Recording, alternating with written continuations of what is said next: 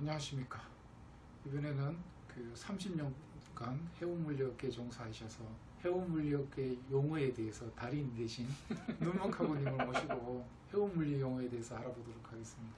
안녕하십니까. 안녕하십니까. 제가 공부를 할 때 이게 뭐그 무역 실무 같은 책에 보다 보면 컨테이너 터미널의 구조 뭐 이런 것들이 이렇게 보이는데 거기 보면 뭐라 뭐라 막 적어놨는데 헷갈리고 이게 도대체 어디 쓰는 용어고 그런 것들 잘 모르겠더라고요. 그에 대해서 모르시죠?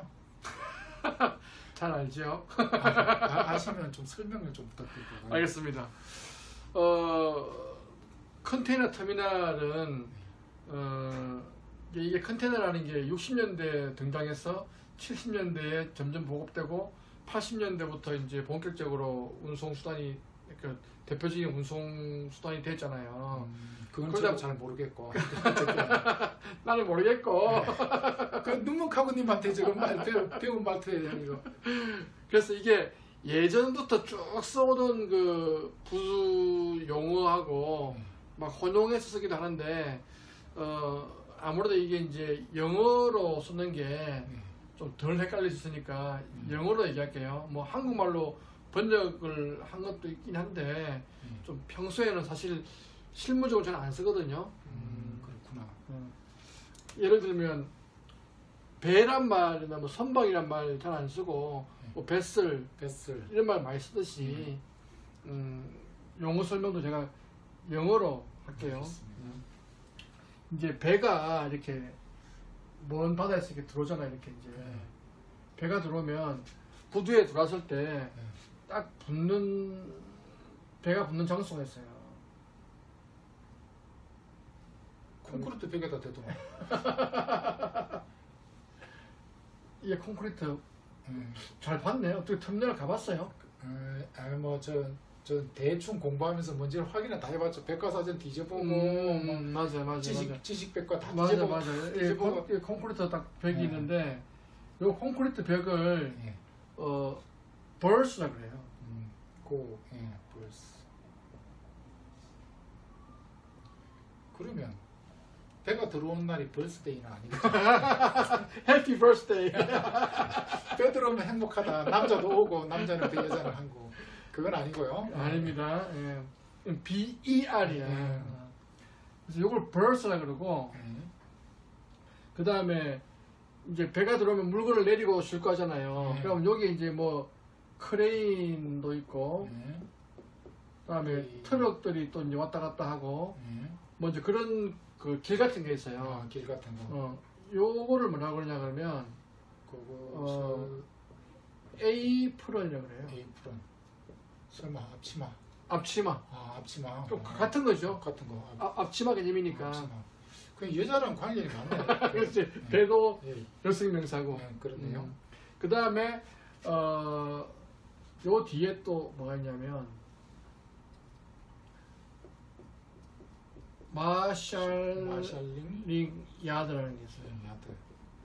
M A R S H A L L I N G Y A R D 마샬링 야드. 마샬링 야드. 마샬링 야드는 마샬링 야드구나.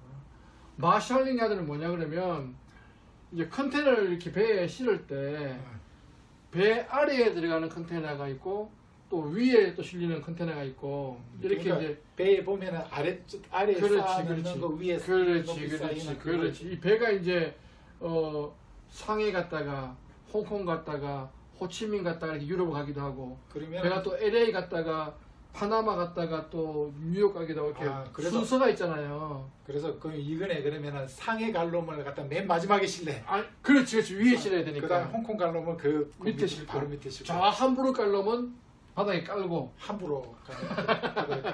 물론 그게 또 이제 무게에 따라서 또 밑에 실리고, 음. 가벼운 거는 위에 실리고, 뭐 그런 공식이 다 있는 것 같더라고요. 음. 이제 그 공식대로 배에 실려야 되기 때문에 음. 실리는 순서 반대, 반대로 이렇게 쌓아두는 거예요. 쌓아두는 거. 그래서 효율적으로 빠른 시간 내에 배에 실을 수 있게 하는 요게 이제 marshalling yard.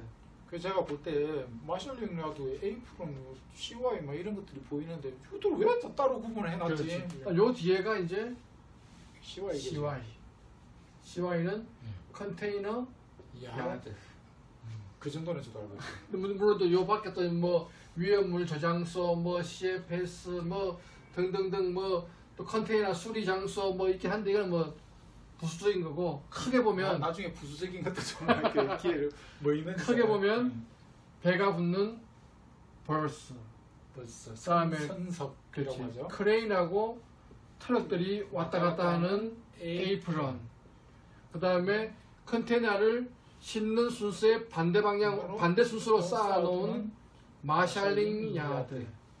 그 뒤에 이 컨테이너를 쭉 쌓아놓은 CY. 그 말이 나왔어요니 망정인데 마리나라 마리나는 요트 관련된 용어 아닌가? 아, 요, 그러니까 이제 요트라든지 레저용 선박을 갖다가 그게 이렇게 정박할 수 있게끔 만들어 놓은 그런 난 모르겠고 컨테이너 컨테이너 안에서는 벌스, 에이프런, 마샬링 야드, CY 이렇게 알면 큰 거를 알 수 있을 거예요. 뭐 자, 자잘한 것도 아까도 얘기했지만 뭐 있긴 네. 하지만 여기서 이런 거 모르면 일하는데 지장이 있습니까?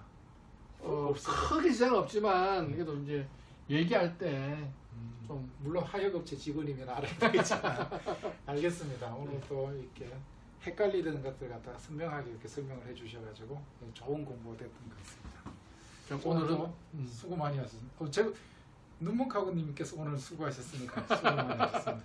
감사합니다. 네.